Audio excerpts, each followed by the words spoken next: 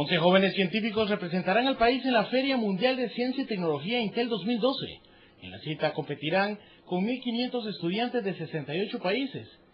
Para recibir una beca de esta empresa, lo que motiva a estudiantes a explorar su curiosidad científica y desarrollar soluciones para los desafíos globales.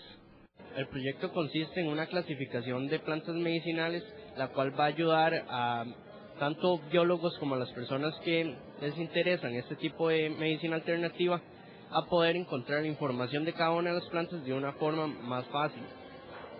Los jóvenes son patrocinados por el Ministerio de Ciencia y Tecnología, que otorgó la ayuda financiera para los gastos de los estudiantes.